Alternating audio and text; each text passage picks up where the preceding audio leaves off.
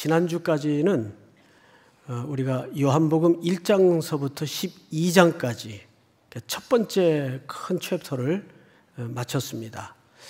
표적으로 이루어진 어, 긴 설명들이었어요. 그래서 첫 번째 부분을 제목을 붙이자면 표적의 책이었다. 표적. 그리고 이제 오늘 13장은 두 번째 단락의 첫 번째 사건입니다. 이제부터 주님께서 가파른 어, 십자가의 길을 향해서 어떤 여정을 어, 만들어내고 있는가. 그래서 이 부분을 영광의 책이라고 말합니다. 20장까지 이어질 겁니다. 그리고 21장은 결론 겸 에필로그에 이제 해당하죠. 자, 그런데 어, 오늘 이 세족식 사건은 참 우리들에게도 익숙한 사건이죠.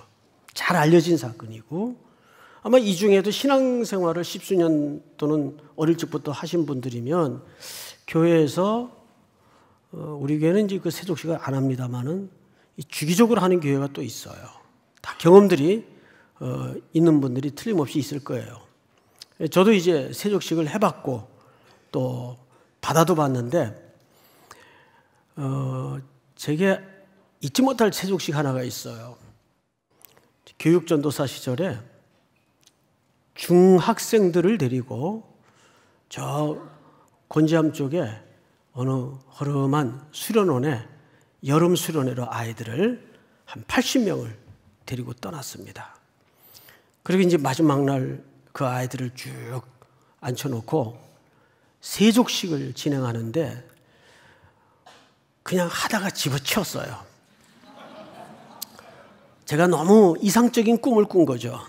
이놈들이 장난을 하기 시작하는데 막 발을 간지럽히고 또 킥킥거리고 도무지 진지하고 엄숙한 분위기가 잡히질 않는 거예요. 예, 그도 그럴 것이 그 80명 가운데 7명이 동네 천하에 둘도 없는 개구장이들이 때로 등록을 해서 그냥 수련회니까 쫓아온 거예요. 그러니 무슨 세족식이 되겠습니까? 그 중간에 다 불키라 그러고 소리 빽 지르고 그냥 어, 치워버렸던 가슴 아픈 추억이 있습니다.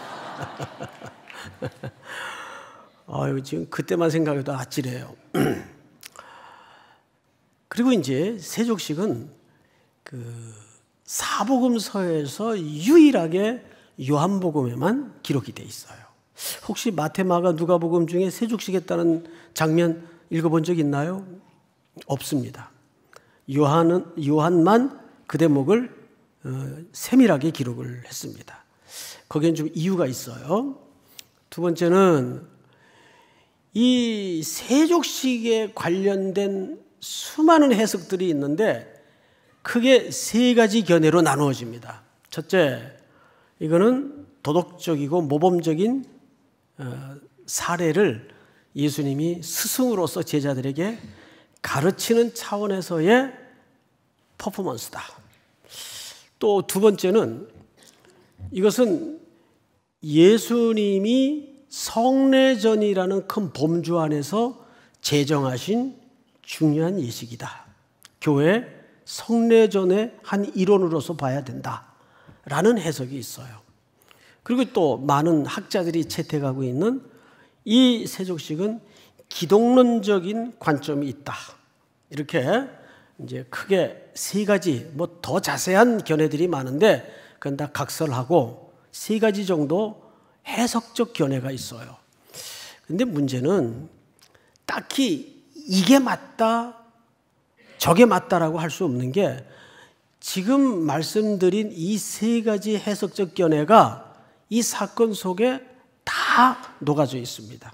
그러니까 이것은 어느 건 취하고 어느 건 버릴 그런 시각에서 보면 어, 너무 해석이 극단적이 되고 단정적이 되니까 어, 이 세족식에 관한 이야기는 해서 오늘서부터 한 두 주 짧게는 또 길게 가면 한 석 주 정도는 다뤄야 이 속에 진짜 모든 의미들이 다 드러날 수 있습니다. 그래서 오늘 그 첫 번째 시간쯤이라고 이해를 하시고 어, 11절까지 설명이 안 되더라도 왜 그건 맞아 설명을 안 하느냐 따지지 마시고 매주 나오시면 됩니다. 그냥 어, 주일날.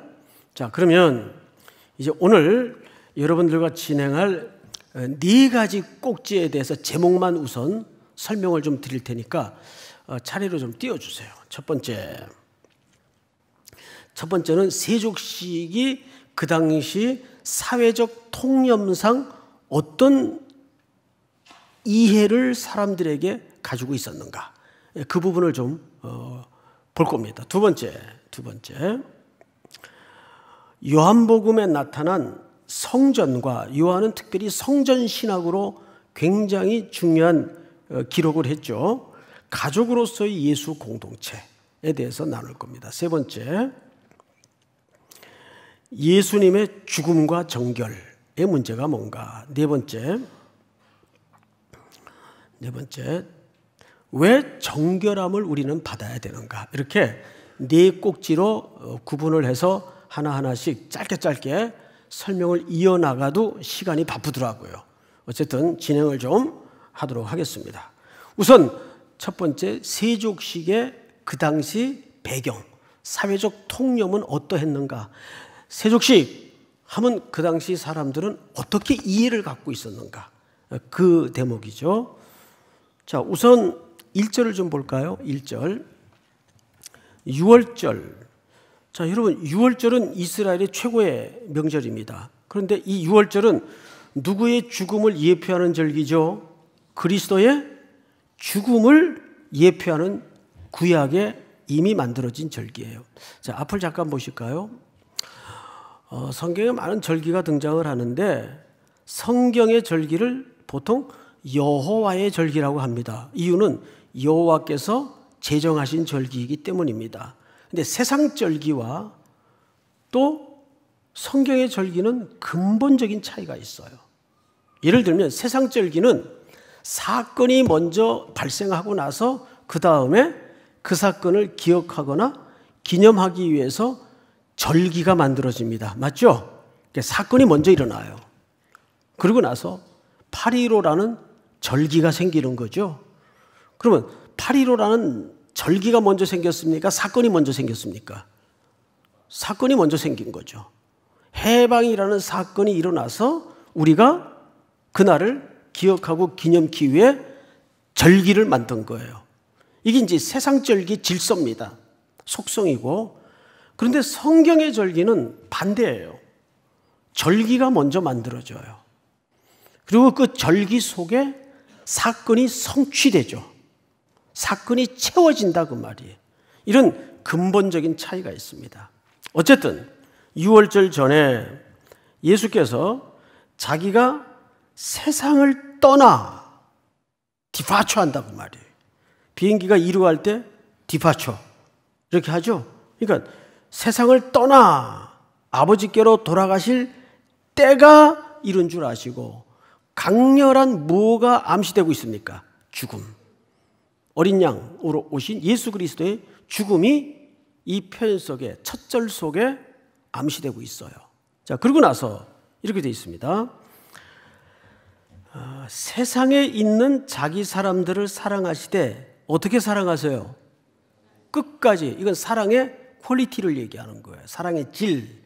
그러니까 어, 예수님은 사랑하시는데 사랑하다가 못되게 굴고 말 안 들으면 악한도 그리고 손 털고 끝나시는 분이 아니고 어떻게 사랑하세요? 끝까지 태평양을 건너 지구 끝까지라도 네가 음부의 자리를 펼지라도 추적하시는 사랑 그 사랑을 얘기하는 거예요. 끝까지 사랑하시니라. 근데 그 사랑의 대상이 누굽니까? 누굽니까? 자기 사람들. 여러분, 흥분하지 마십시오. 그 안에 내가 있고 여러분들이 있어요. 이렇게 중요한 얘기를 하는데, 응? 시험지 염소 씹듯이 그냥 덤덤히 앉아 있으면, 어, 안 되죠. 그렇게 하면 안 되죠. 예. 자기 사람들을 사랑하시되 끝까지 사랑하시니라. 이 한마디에 사실 설교 끝 하고 싶어요. 그 안에 제가 있어요. 그 사랑의 대상에 여러분들이 있어요. 믿으십니까? 할렐루야. 자, 그런데 2절을 볼까요? 그러기 위해서 주님은 마귀가 벌써 시몬의 아들 가롯 유다의 마음에 예수를 팔려는 생각을 넣었더라. 이제 예수님은 이 마귀의 음모와 계략에 이용당하는 유다를 통해서 십자가의 가파른 길을 떠납니다. 이것이 13장부터 시작되는 여정이에요. 그것이 주님이 말하고자 하는 영광입니다. 그러니까 주님은 죽으셔야 돼요. 끝까지 사랑하시기 위해서. 그 대상이 저와 여러분들이란 말이죠. 이렇게 오늘 본문은 강력한 예수님의 죽음이 기초될 것을 암시하고 있습니다. 자, 이때 3절 같이 한번 읽어봅시다. 시작. 저녁 먹는 중 예수는 아버지께서 모든 것을 자기 손에 맡기신 것과 또 자기가 하나님께로부터 오셨다가 하나님께로 돌아가실 것을 아시고 자, 저녁 먹는 중 그러니까 이걸 이렇게 이해하시면 안 되겠죠. 어, 중간에 막 식사하시다가 식사하시다가 야 잠깐 다시 쭉 앉아봐. 자 지금부터 어, 갑자기 옷을 막 벗으시더니 어, 허리에 수건을 동이시고 자자 발 내밀어라 전부 다. 그리고 이제 갑자기 식사 중간에 발을 씻었다. 그럴 수는 없는 거 아니에요? 뭐가 이상하잖아요, 그거는. 그러니까 유대 식사법을 알아야 됩니다. 일단 유대 식사는 깁니다. 굉장히 시간이 길어요. 그러니까 식사 하나 하는 게 사역이에요, 거의. 음식이 다 먼저 차려집니다. 그리고 나서 그 음식을 본격적으로 먹기 전에 제자들을 불러 앉혀놓고 세족식을 진행했다 그 말이에요. 그러니까 그걸 여기서는 저녁 먹는 중에 이렇게 표현을 했어요. 자, 그런데 어, 성경을 또 보십시다. 4절. 저녁 잡수시던 자리에서 일어나 겉옷을 벗고 수건을 가져다가 허리에 두르시고 이에 대야에 물을 떠서 제자들의 발을 씻으시고 그 두르신 수건으로 닦기를 시작하여 자 앞을 잠깐 보십시다. 지금부터 이 세죽식이 첫 번째 꼭지의 주제처럼 그 시대 사회적 통념상 사람들에게는 어떻게 비춰졌을까? 어떻게 이해됐을까? 자, 민수기 19장을 띄워주세요. 읽습니다. 한 절이에요. 시작. 사람이 부정하고도 자신을 정결하게 하지 아니하면 여호와의 성수를 더럽히니 그러므로 회중 가운데에서 끊어질 것이니라. 그는 정결하게 하는 물로 뿌림을 받지 아니하였은즉 부정하니라. 네. 여기 보시면 사람이 부정하고도 자기를 정결하게 하지 아니하면 어디를 더럽히는 거예요? 여호와의 성소를 더럽히는 거예요. 자, 유대 사람들은 삶의 모든 총체적 중심이 어디로 돌아갑니까? 성소를 중심으로 돌아가요.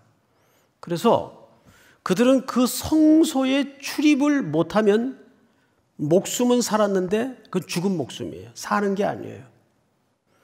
그래서 그들이 성전을 출입하는 것은 특권 중의 특권이고 명예요 자부심이며 하나님의 백성된 중요한 표였어요. 근데 거기 출입을 못할 때는 언제 못하냐 하면 불결할 때, 부정할 때. 그래서 그들은 반드시 성전으로 들어가기 전에 그 앞에 준비된 노대야에다가 손발을 씻고 정결이라는 예식을 통과한 다음에 성전 안이나 성소 안으로 제사장들은 들어가게 돼 있어요. 한 군데만 더 볼까요? 레위기 15장을 띄워주세요.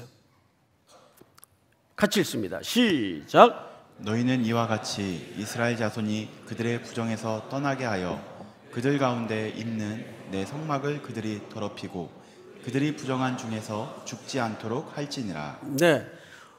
이렇게 된 겁니다.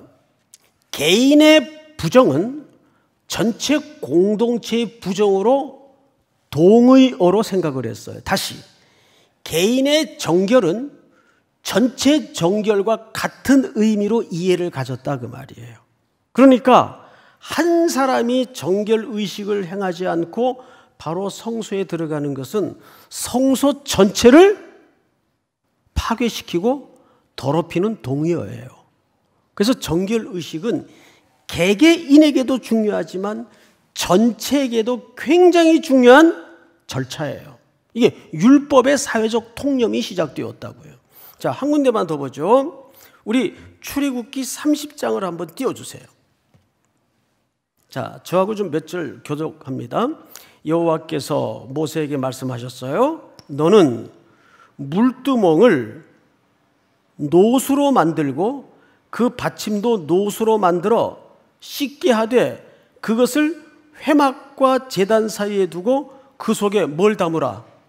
물을 담으라. 우리 다 같이 시작. 아론과 그의 아들들이 그 두멍에서 수족을 씻되 그들이 회막을 들어갈 때에 물로 씻어 죽기를 면할 것이요 제단에 가까이 가서 그 직분을 행하여 여호와 앞에 화제를 사를 때에도 그리 할지니라.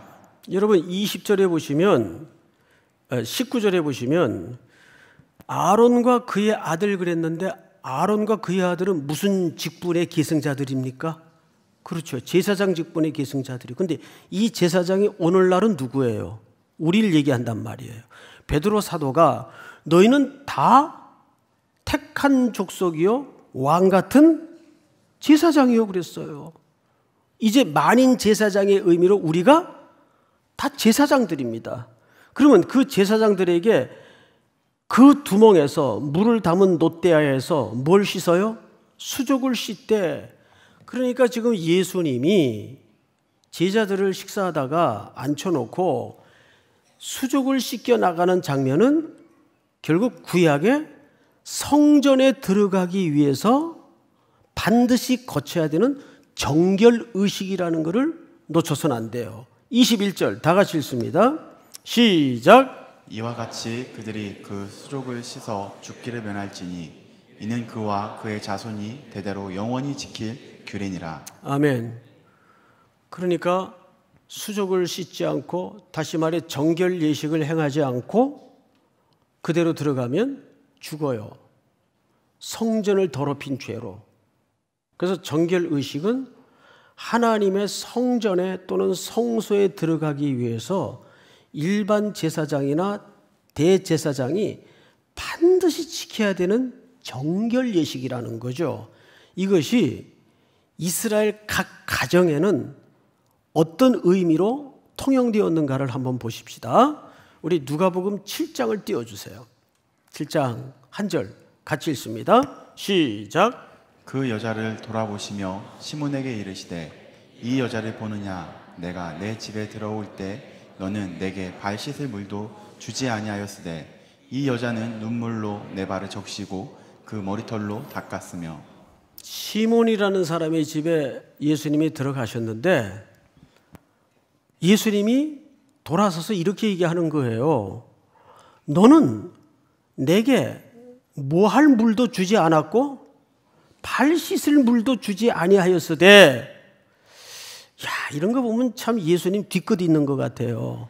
뭐 그깟 일로 성경에 남겨질 정도로 불평을 속내를 드러내시나 과연 그런 단순한 의미일까요? 자 지금부터 그 구약의 성전에 들어가기 위해서 반드시 거쳐야 되는 정결 예식이라는 그 기초에다가 일반 가정에서는 이 의미가 어떻게 이해됐는가 하면 외부인이나 자기 식구가 나갔다가 들어올 때는 문 입구에 돌 항아리 또는 그릇에 담긴 물에다가 씻도록 주인은 반드시 제공을 해야 됩니다. 그래서 여러분 첫 표적에 물이 포도주로 된 기적이 어디에 담아져 있던 물로 일으킨 겁니까? 바로 돌 항아리에 그게 정결 이해식 때 쓰는 물이에요. 그 물로 포도주를 만든 거예요.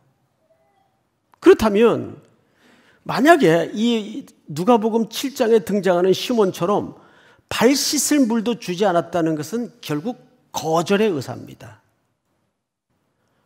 나는 당신을 환대하지 않는다 그 말이에요.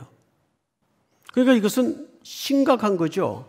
적어도 집주인이 외부인에게나 가족이 나갔다가 들어올 때에 발 씻을 물을 제공한다는 것은 두 가지 의미가 있어요. 첫째, 우리는 기꺼이 당신을 환영합니다. 동시에 당신은 나와 한 식탁에서 먹을 수 있는 동등한 가치를 지는 존재입니다. 한 공동체입니다. 한 가족입니다. 시편 23편의 후반부에 보면 시인이 이런 노래를 끝내요. 원수의 목전에서 내게 상을 베푸시고 여러분 그 상은 잘 아시는 것처럼 그랑프리 상을 얘기하는 게 아니고 식탁을 얘기하는 거예요. 테이블을 얘기하는 거예요. 가족으로 초대된다 그 말이죠. 그런데 이 시몬은 예수님에게 발 씻을 물도 내어주지 않았다는 것은 사실상 거절을 얘기합니다. 나는 당신을 환대하지 않는다. 나는 당신과 다르다. 이 뜻이 이 속에 포함되어 있는 거예요. 그러니까 발 씻을 물을 내어준다는 것은 두 가지 의미라 그래서 첫째는 나는 기꺼이 당신을 우리 집에 들어오는 것을 환영합니다.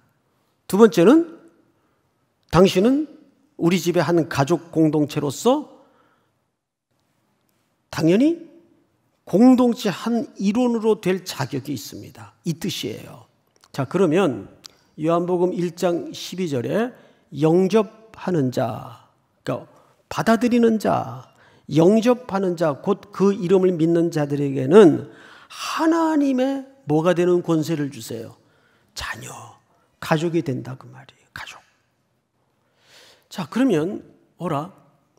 이 성결 의식이 세족식을 하는 정결 의식이 단순히 무슨 겸손을 드러내거나 모범을 보이기 위한 그런 의미가 아니라 놀랍게도 우리가 하나님께 예수 그리스도에게 의해서 기꺼이 환영을 받고 그분의 뭐가 된다는 뜻일까요? 가족이 되고 한 공동체가 된다는 예수님의 선언이 되는 겁니다. 할렐루야. 자, 그러면 여기에서 두 번째 주제로 넘어갈 텐데, 그러면 예수님이 뭐가 돼야 맞습니까? 성전이 돼야 맞아요. 왜? 정결 예식은 어디 들어갈 때 하는 예식이었기 때문에 성전에 들어갈 때 하는 예식이었기 때문에 예수님이 성전이 돼야 그 논리가 맞아요. 자, 요한복음 1장 열어주세요. 띄워주세요. 말씀이 육신이 되어 우리 가운데 거하심에 우리가 그의 영광을 보니 아버지 독생자의 영광에 은혜와 진리가 충만하더라. 이 대목 우리 설교를 들을 때 배웠어요. 우리 가운데 거하다. 이 거하다라는 말이 텐트를 치다 그 말이에요. 하늘의 성전이 이 땅에 내려온 사건이에요. 누구로 화해서? 예수 그리스도로 화해서. 자, 요한복음 2장을 넘어갈까요? 띄워 주세요. 예수께서 대답하여 이르시되 너희가 이 성전을 홀라 내가 사흘 동안에 일으키겠다. 자, 그러니까 바리새인들이 시작 유대인들이 이르되 이 성전은 46년 동안에 지었거늘 내가 3일 동안에 일으키겠느냐 하더라. 자, 예수님은 사실상 자기 육체를 가르쳐 하신 말씀인데 유대인들은 못 알아들었어요. 보이는 성전으로 알아듣고 야 이 사람아 이게 지금 46년 동안 짓고 있는데 아직도 완공이 안 됐는데 네가 어떻게 사흘 만에 헐고 나서 다시 일으키겠다고 하느냐? 여기 일으키겠다는 말이 사실은 부활의 의미고 헌다는 말은 그리스도께서 죽으실 것을 예표하는 거예요. 다음 절 다 같이 시작. 그러나 예수는 성전된 자가 육체를 가리켜 말씀하신 것이라. 그러나 예수는 성전된 자기 뭐예요? 육체를 가르쳐 하신 말씀이에요. 놀랍게도 예수님이 자기 육체를 여기에서 뭘로 묘사하셨습니까? 성전. 그러면 보세요. 이런, 이런 논리가 되는 거예요. 우리가 정결 예식을 통해서 씻음을 받고 어디로 들어가야 되죠? 성전으로 들어가야 돼요. 그런데 놀랍게도 그 성전이 요한복음에서는 끊임없이 누구로 묘사되고 있습니까? 예수 그리스도. 그러면 우리가 예수 그리스도의 공동체가 되고 한 가족이 된다는 얘기예요. 믿습니까? 그러니까 이 세족식이 그냥 모범을 보이거나 예수님이 겸손을 가르치기 위해서 하신 퍼포먼스가 아니라 말이에요. 이것은 굉장히 중요한 구속적 의미를 구원의 긴 프로그램을 암시하고 있는 거예요. 자, 그러면 한 걸음 더 나아가서 예수님의 가족이 어떻게 되는가? 우리 어, 성경을 좀 또 살펴 나가도록 하십시다. 요한복음 19장, 어, 19장 띄워 주세요. 그중 한 군인이 창으로 옆구리를 찌르니 곧 피와 물이 나오더라. 자, 예수님이 로마 군병들의 창을 받으셨어, 옆구리에. 그러자 그 찔린 구멍에서 물과 피가 흘러나옵니다. 물과 피가 흘러나와요. 그럼 우리의 죄가 뭘로 씻음받는 겁니까? 예, 그분의 죽음으로 흘리신 피와 흘리신 물로 씻음받는 거예요. 그래서 예수님은 오늘 본문에 이런 힌트를 감춰놔요. 4절을 읽어볼까요? 4절, 13장 제가 읽습니다. 저녁 잡수시던 자리에서 일어나 뭐를 벗고 뭐를 벗고 벗고라는 말은 죽음을 말할 때 뜻하는 비유입니다. 겉옷을 벗고 세족식을 마친 다음에 12절로 건너가 뜁니다. 다 같이 시작. 그들의 발을 씻으신 후에 옷을 입히시고 다시 앉아 그들에게 이르시되 내가 너희에게 행한 것을 너희가 아느냐 자, 4절에서 벗고 끝난 다음에 옷을 어떻게 하시고 벗다라는 것은 그리스도의 죽음을 예표했다면 옷을 다시 입었다는 것은 부활의 은총을 설명하고 싶은 거예요. 그러니까 이 세 족식 앞뒤에 그리스도의 죽음과 다시 사심을 설명하고 있는 겁니다. D.A. 카슨이라는 이제 가을에 우리 교회에 오실 텐데 이분이 여기에다가 이런 설명을 해놨어요. 벗고 입으시고 그리스도의 죽음과 부활을 통해서 우리가 누구의 가족이 되는 겁니까? 예수 그리스도의 가족이 되는 거예요. 그래서 십자가를 중심으로 펼쳐진 그림 하나를 소개할 텐데 제가 그냥 말로 표현을 할게요. 예수님이 지금 십자가에 매달려 있어요. 온몸 마디가 쑤시는 고통 속에 예수님은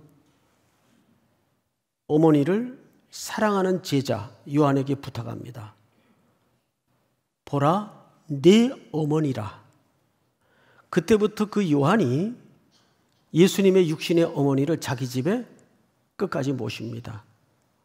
이 십자가 옆에서 일어난 일이에요. 그러면 이게 무슨 그림일까요? 십자가 속에서 새로운 교회라는 가족 공동체가 태어나는 거예요. 그리스도의 새로운 가족이 태어나는 거예요. 그래서 성경은 우리에게 이런 표현을 써요. 하나님과 아들, 하나님과 자녀, 형제. 여러분 20장, 요한복음 20장을 띄워 주세요. 이런 표현이 있어요. 예수께서 이르시되 나를 붙들지 말라. 부활 후에 이제 말씀하신 것이죠. 내가 아직 누구에게로 아버지 표현 나오죠. 올라가지 아니하여 너는 내 누구에게 형제들에게 가서 이르되 내가 내 아버지 곧 너희 아버지 내 하나님 곧 너희 하나님께로 올라간다 하라 하시니라. 여기에 열거된 그리고 아까 요한복음 1장 12절에서도 영접하는 자 곧 그 이름을 믿는 자들에게 하나님의 뭐가 되는 자녀가 되는 그러면 자녀, 아버지, 아들, 형제, 자매 이거 다 어느 공동체에서만 쓸 수 있는 표현이요 관계 설명입니까? 가족에서만 쓸 수 있는 표현이고 관계 설명이에요. 그러면 우리가 십자가라는 죽음의 방식을 통해서 예수님이 우리를 누구의 가족으로 불러주셨다는 얘기예요? 예수님의 가족으로. 오케이. 여기까지는 알겠어. 그래, 뭐 우리가 그러니까 뭐 예수 가족 됐다는 거 아니야? 알지, 믿지. 그런데 도대체 예수의 가족이 된다는 게 무슨 뜻일까? 마지막으로 그 부분을 좀 함께 확인하도록 하겠습니다. 8절, 본문 8절입니다. 다 같이 읽겠습니다. 시작! 베드로가 이르되 내 발을 절대로 씻지 못하시니이다. 예수께서 대답하시되 내가 너를 씻어 주지 아니하면 내가 나와 상관이 없느니라. 이렇게 된 겁니다. 제자들을 쭉 앉혀놓고 이제 예수님이 첫 번째 제자부터 한명한 명씩 발을 닦고 수건으로 닦아주시고 물로 씻고 수건으로 닦아주시고 쭉 오는데 그걸 지금 누가 쳐다보고 있었을까요? 당연히 베드로가 쭉 물끄러미 쳐다보고 있다가 야 이건 말이 안 된다. 왜? 그 당시에 남의 발을 닦는 것은 웬만한 종도 안 하는 정말 비참한 일입니다. 그런데 감히 우리의 대선생님이 그 웬만한 종들도 잘 안 하는 그런 특별히 유대인들은 종이라도 그런 일을 안 합니다. 근데 선생님이 제자들의 발을 하나씩 하나씩 정성껏 닦아 나가는 모습을 볼 때, 야 저놈들은 어떻게 저 상황 속에서 저러고 그냥 어, 성김을 받지? 아무 소리 안 하고 가만히 있지? 이게 내가 좀 아무래도 한마디 이건 나서야 되겠다. 이제 마음을 딱 먹고 있는데 자기 순서에 왔겠죠. 그러자 딱 그 배 씨가 좀 이렇게 성격이 다혈질이고 극단적이지 않습니까? 그래서 한 얘기가 8절이에요. 8절을 잘 보시면 베드로가 이르되 내 말을 내 발을 절대로 이 절대로라는 말은 여러분 영원히 영원히 씻지 못하시리이다. 그러자 여러분 항상 그 극단적인 표현을 하는 분들이 다 철들이 없어서 그래요. 예? 인생이 얼마나 이 어, 고양이 눈알처럼 변하는지를 몰라서 그래요. 그러자 예수님은 심리학자예요. 그 극단적인 표현을 받고 받아서 극단적으로 설명을 하세요. 메시지를 넣어서. 그래? 내가 네 발을 씻기지 않으면 너 나와 상관이 없다. 아무 상관이 없다. 그러니까 이번에는 덥석 물어가지고 어 그럼 모욕도 시켜 주십시오. 이 모욕에 관한 문제는 다음 시간에 다룰 텐데 이게 또 간단한 문제가 아니에요. 그럼 과연 상관이 없다는 말이 무슨 말일까? 아니 뭐 그까지 일 가지고 또 상관이 없다고 하실까? 자, 이것을 설명하기 위해서 성경 한 구절을 마지막으로 인용을 해드리겠습니다. 누가복음을 띄워주세요. 그 둘째가 탕자의 비유에 나오는 이야기죠. 둘째가 아버지에게 말하되 아버지요 재산 중에서 내게 돌아올 무엇을 분깃을 내게 주소서 하는지라. 자, 여러분, 여기 분깃이라는 말이 상관이라는 뜻입니다. 그러니까 내가 너와 상관이 없다는 말은 무슨 뜻인가 하면 내, 내가 네 발을 씻기지 않으면 네게 함께할 유업이나 상속이 없다 그 말이에요. 그러니까 이게 간단한 얘기입니까? 간단한 얘기가 아니에요. 즉 예수님의 가족으로 산다는 것은 예수님이 천국에서 함께 누릴 그 모든 상속과 유업을 어떻게 한다는 얘기일까요? 함께 나누고 함께 누린다는 뜻입니다. 믿습니까? 그 얘기를 하는 거예요. 그러니까 우리가 하나님의 가족, 가족이 되고 자녀가 되고 예수님의 가족이 됐다는 것은 이건 인간이 표현할 수 없는 언어가 한계가 있기 때문에 설명 불가입니다. 표현할 수가 없어요. 어마어마한 초대 앞에 우리가 서 있다는 걸 기억해야 돼요. 원수 덩어리였던 죄 없는 원수 덩어리였던 우리들을 죄 없는 예수님이 자기가 대신 죽어서 우리를 아들 삼아 주시고 가족 삼아 주셔서 뭘 지금 함께 누리겠다는 거예요. 하늘의 분깃을 하늘의 상속을 유업을 잊게 하고 함께 누리겠다는 겁니다. 믿으십니까? 그렇다면 그렇다면 사랑하는 성도 여러분 우리는 이 즈음에 서서 중요한 고민 하나를 하고 돌아가야 될 것 같아요. 내가 살면서 그리스도인으로 살면서 아직도 가슴 한켠에 풀어내지 못하는 이 감정의 응어리들, 관계에서 온 상처들, 넓게는 내 주변의 사람들과의 삶에서 조금 가깝게는 교회 공동체 안에서 가장 가깝게는 심지어는 가족 공동체 안에서도 몇 달씩, 몇 년씩 서로 말은 주고받는데 대화가 아니에요. 그냥 정보만 왔다 갔다 하는 거예요. 그건 가족이 아니죠. 동거인이죠. 특별히 그리스도인들 사이에 이런 것들이 너무나 많아요. 돌아보면 별거 아닌데 그 한마디 때문에 저놈은 가해자고 나는 피해자예요. 웃기지 마세요. 여러분, 사실 그리스도의 죽음이 담보된 십자가 안에서, 십자가 앞에서 어떻게 감히 가해자 피해자 소리가 나옵니까? 있을 수가 없어요. 있을 수가 없어요. 우리가 이거 풀어내지 않으면, 이거 십자가 앞에 순종하지 않으면, 그건 악입니다. 그리스도의 십자가를 무의미하게 만들고 욕되게 하는 거예요. 제가 언제 여러분 마무리는 항상 부드럽고 좋은 마무리를 했지 이렇게 서슬퍼렇게 끝냈던 적이 있나요? 그런데 오늘 이 말씀은 그냥 아, 또 한편 복잡한 설교 듣고 돌아간다 그러지 마시고 반드시 내가 그리스도 밖에 있을 때 어떤 존재였으며 그분의 피로 쓰셔 주신 정결 예식을 통해서 내가 어떻게 예수의 가족이 되었고 그 가족이 되면 나에게 누려질 영광과 나눔이 얼마나 복된가를 기억해서 십자가 앞으로 모든 마음의 멍해들을 짐들을 풀어내놓고 당장 머뭇거리지 마시고 당장 이 말씀을 듣고 일어서서 그 풀어내지 못하는 생의 무거운 부담들을 십자가 앞에 털어내기로 결심하는 우리 3일의 성도들이 될 수 있기를 축원하고 축복합니다.